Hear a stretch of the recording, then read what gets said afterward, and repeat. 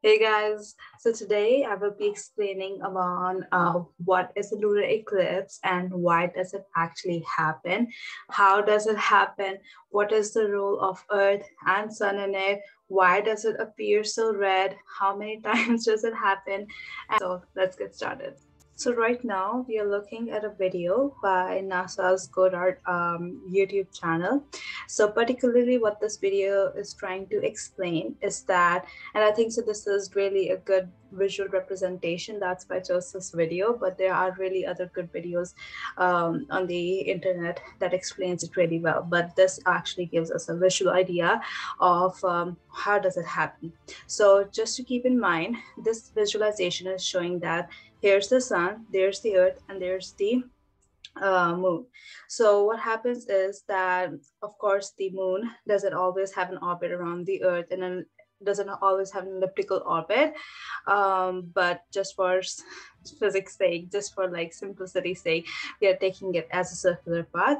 Um, and also to keep in mind that the uh, path of the moon around the earth uh, is most of the times um, tilted at an angle. So in this one, just to start with it, it shows that how when the moon goes around the um, earth uh, within a period of 30 days, is approximately 30 days, is uh, how its phases changes. So we know that there's phases of moon like waxing moon, gibbous moon, uh, half moon, full moon. So that's what uh, is trying to be is being explained in this video, how it goes around.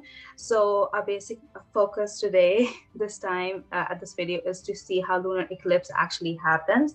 So what they're trying to say is that whenever there's, uh, so that's the Earth's shadow, uh, you can see that that's the darker part where the sun doesn't reach uh, and uh, that's the orbit of the moon so they're trying to say in an year twice a year uh, lunar eclipse happens.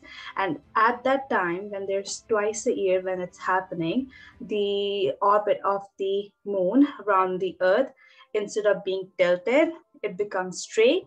And that's why the uh, the the moon it comes under the earth's shadow and you can see then how it changes and changes and changes. And that's how they're also explaining how solar eclipse happens. So basically that's what they're trying to um, say.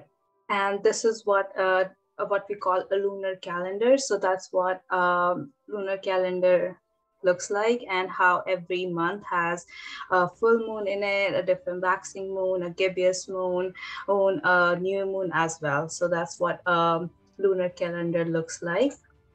And, and now you would be wondering, then if that happens, if moon around its orbit passes to the uh, Earth's shadow, like why doesn't it happen uh, like every month. Why doesn't the lunar eclipse happen every month? So this is the part that explains. So this is the tilted orbit of the moon around the earth. And once it goes and goes around, but once it reaches a certain point in the year, it's um, the lunar eclipse happens when it passes through the earth's shadow.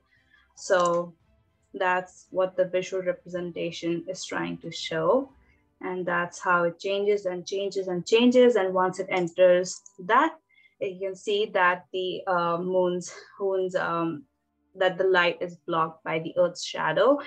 So the Earth's shadow, that's called umbra. It it um, it covers the moon's. Uh, it kind of hides the moon's moon, um, and of course the how the moon is actually not um, an object that actually gives the light. It's the sun's reflected light, and when the uh, when the Earth is the um, only obstruction between the sun and the moon, then uh, that shadow that's created by the Earth on the moon is called umbra and that's how it looks like.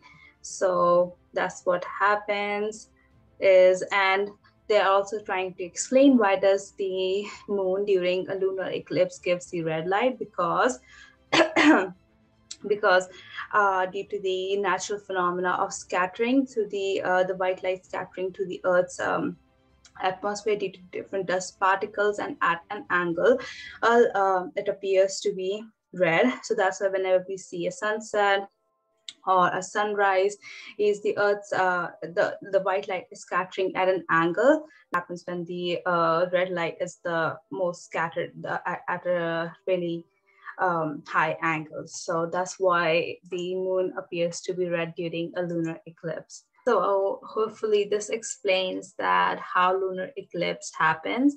So just to make it clear that uh, the Earth's, the moon's orbit around the Earth is uh, not a perfect um, at a 90, at a 180 degree angle. It is tilted a bit, but twice a year, it happens to be in a straight orbit at 180 degree angle. And whenever that happens, the lunar eclipse happens. So whenever there's sun, the source of light, and the Earth's uh, Earth shadow that comes between the uh, moon's orbit, it um, that Earth's shadow is reflected on the moon and uh, um, that is called the umbra. The reddish light is because of scattering of white light at an angle. So hopefully that explains it well. And uh, it is also a fun fact that whenever I try to see a lunar eclipse, it's usually cloudy, but it's probably because I'm in Canada, but it is what it is. So hopefully you learned something new today.